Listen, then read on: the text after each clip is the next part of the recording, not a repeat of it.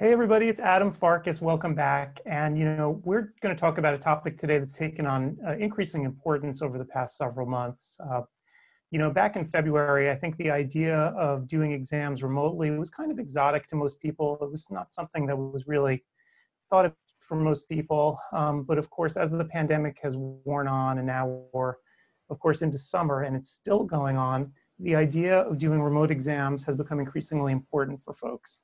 Um, so today we actually have two experts to talk to us about uh, you know, remote exams, both the clinical aspect of them and the practice management aspect. So we have two speakers who are going to be giving a talk here today all about the remote evaluation and management, what you can do today for your retina practice. And we have Dr. Joel Pearlman, a retinologist from Sacramento, California, and Kevin Corcoran, who's the president of the Corcoran Consulting Group. And these two gentlemen are very experienced with remote evaluation and management. They're going to give this talk today. But I wanted to get some background from them uh, to learn just a little bit more about the subject. And we can do it kind of informally here today. So, gentlemen, thank you both for being here today. So, I guess, Dr. Pearlman, you know, you've been battling with this now. You're on the West Coast, uh, as, as I am too. Um, we've been battling this since at least February. Um, so, what's your experience been uh, with remote management? Well, we really hadn't considered uh, doing anything like this uh, until you know the state more or less shut down and we had our stay-at-home orders. I think we, like uh, many retina practices, had to curtail our practices um, to see patients who basically had urgent issues, needed injections, had some emergency. Otherwise, people who had more routine but important diseases, uh, moderate non-proliferative diabetic retinopathy, uh, we sort of put off largely uh, to protect them from spread of the virus.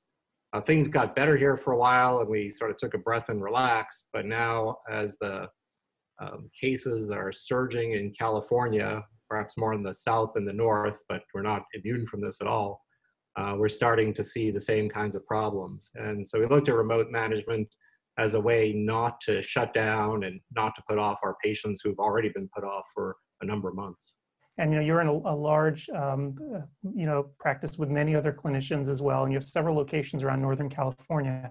What have you seen with your colleagues in terms of the way you, you've they've been able to use um, this sort of remote management? Have they had struggles with it or has it been pretty okay for them too? Uh, i think early on uh, people felt like it wasn't really a, a necessary thing. I mean we, we have a uh, a usual way of seeing patients where we'd like to see our patients. We want to see them and chat with them and interact with them in person.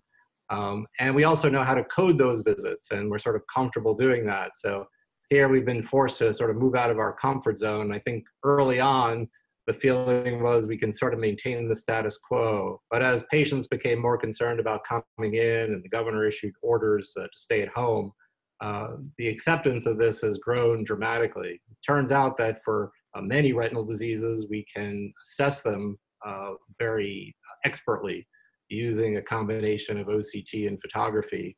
And we can sort out patients who are stable and reassure them and find patients who are progressing and need treatment perhaps while minimizing their risk of, uh, of uh, getting infected. Sure. And what's your patient's perception of all this? Uh, have they sort of gotten used to this process of, of working remotely with doctors? So there may be a bias of ascertainment there because we call the patients up ahead of time and ask them if they're willing to do that. And so the willingness is there. Uh, once they do it, they, they may not want to come back and see us in person anymore.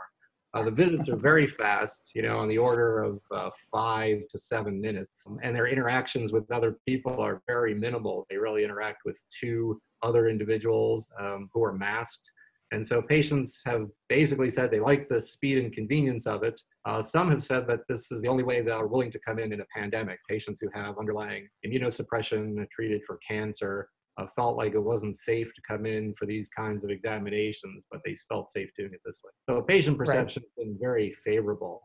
The one difficulty we've had uh, is sometimes connecting with the patients later on. So not everyone is facile with sort of AV type communication. Not everybody has FaceTime or Duo. Uh, there are some applications that are pretty easy to use where the patient gets a text message and then has to click through a series of texts in order to activate the video. And those work pretty well, but the patients need to have some both uh, technology and some technical know-how to get that to work. So that's been a little bit of a challenge. Right. And, you know, when this all began with the pandemic, I know that many clinics had this sort of ad hoc solutions that they cobbled together, right? Using tools like the one we're using right now, right? Using Zoom.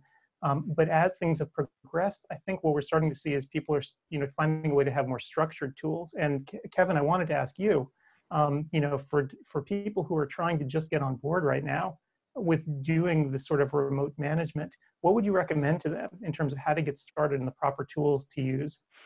Well, that's a really excellent question. And there are a few basic steps that I think we could give you. Of course, we could do an hour's presentation on just your question, but for the sake of this uh, audience, I think a few uh, steps are in order. The first one is set a goal for the practice. By that, I mean you need to have a clear idea as to what you're trying to accomplish. So, triage is important.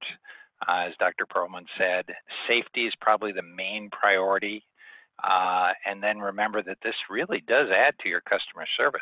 Uh, and for the patient who is frightened or scared, this is really a wonderful idea. So remember that the patients and the staff and the physicians primarily are concerned about safety. The next point is identify the patient population you want to address. It's not everybody that can be safely postponed. Certain people probably do not fit well inside of this uh, kind of protocol. Uh, the next piece is uh, sit down with your staff and establish what your clinical protocol would be. Uh, when Dr. Pearlman and I talked about this, it was first and foremost getting the right diagnostic information. So OCT, fundus photos, pretty critical to a retinologist.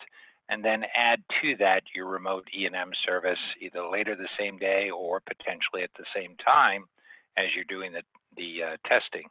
So it's a hybrid service. And then you need to sit down with your IT staff because there are some functionalities that need to be established, both audio and video, with the patient. And those are not just plug and play. There's there's a little work to be performed there. Uh, so remember that you're doing your E&M service in real time with audio and video, and you want to make sure that functionality is actually working. Uh, the next part is personnel. You do have to train the physicians and staff a little bit. Uh, the clinical aspects, of course, are, are pretty obvious to them, but the context is not. So there's some some issues here in terms of how you do things. Uh, I'll stress once again that there are safety issues here for bringing patients in.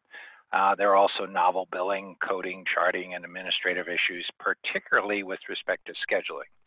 Uh, so I've, I've learned a few things about scheduling. You don't like to mix and match uh, patients who are in the office versus ones who are through telehealth. And then lastly, start slowly. Uh, don't don't jump in and schedule an entire day of this. You know, maybe do an hour's worth and see how it works. And you're going to have bugs, and if you do, you can fix them. So with with those kind of pointers, I think you can safely move forward. It's super helpful to have a champion in the staff to sort of spearhead this, you know, just getting the staff on board, getting the patients comfortable, um, maintaining the distancing and masking um, has been critical. And so having an internal champion is, uh, has helped us immensely. Right. Joel, I had a question for you actually. With your practice, do you have, you obviously have criteria as to which patients will go this route when you're recalling patients now, do you actually look to see what sort of path they should be on, you know, remote versus in person, and how do you make that decision?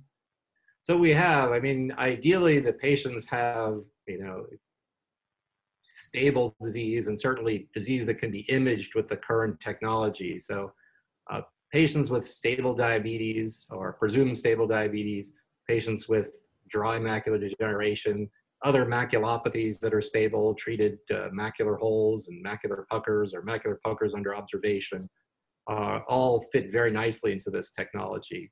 Patients with peripheral retinal disease, retinal holes and tears and possible detachments are much better off seen in the clinic and getting a dynamic uh, depressed exam. Right.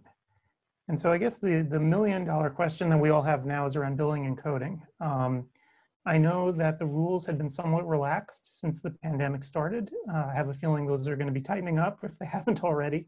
Uh, and so I guess my question, and Kevin, is probably a better question for you. You know, what can you expect, right? How do you actually bill for this, and, and what can you expect from the third-party payers?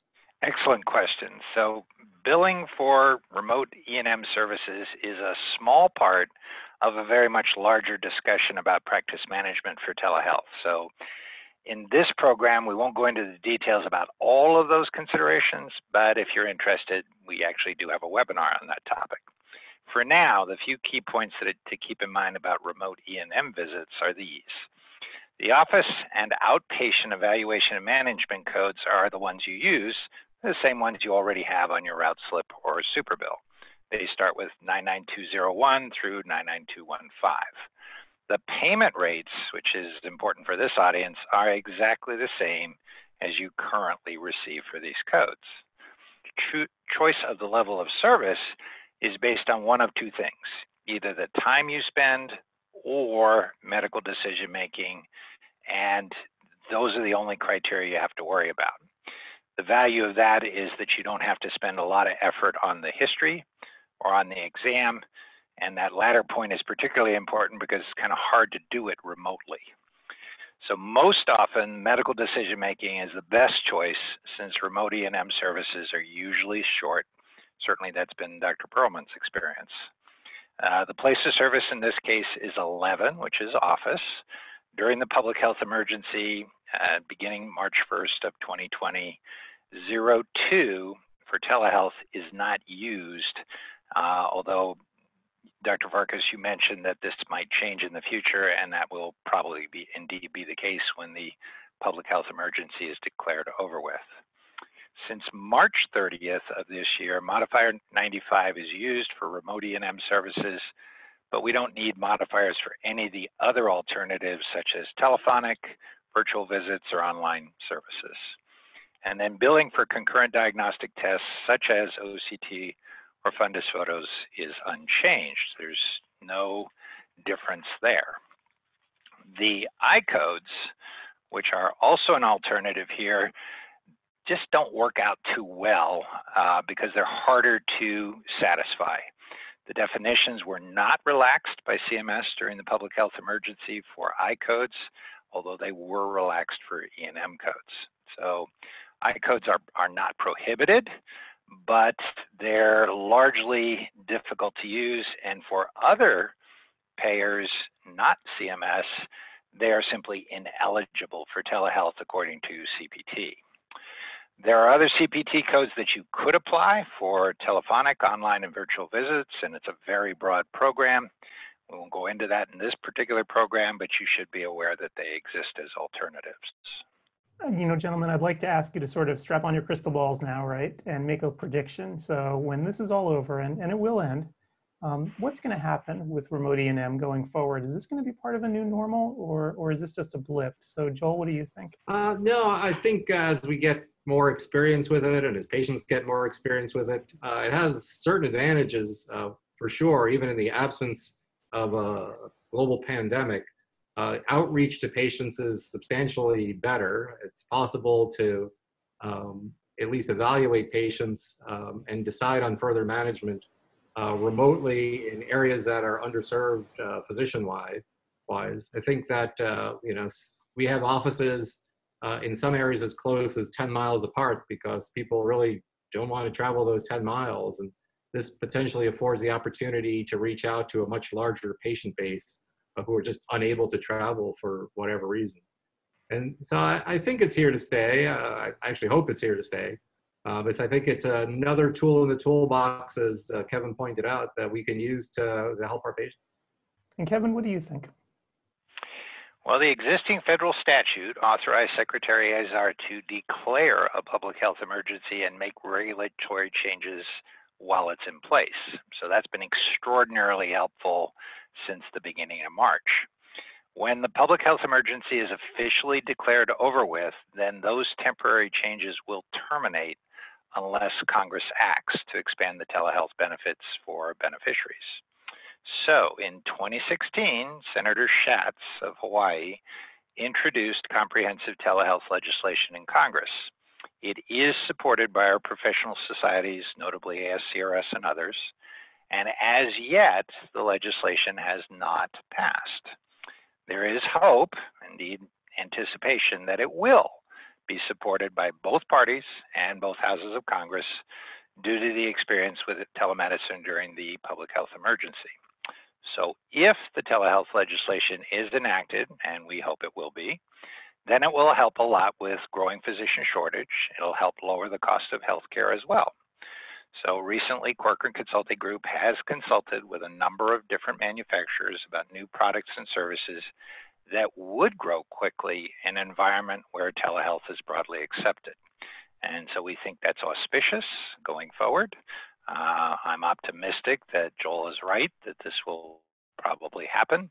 Uh, I'm a little bit trepidatious because now we're betting that the government will actually do the sensible thing, and that doesn't always happen. So we'll see.